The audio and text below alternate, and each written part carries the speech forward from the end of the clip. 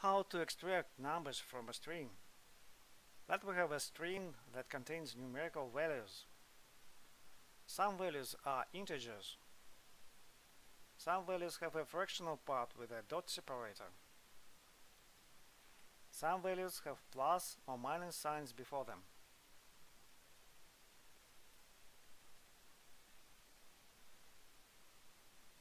We need a match method with a regular expression.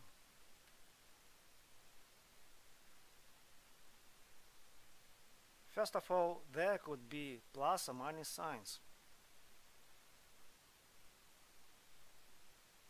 Then some digits.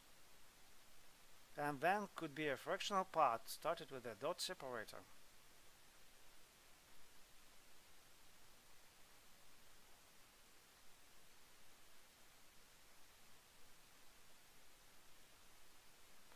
Then all matches we convert to a number.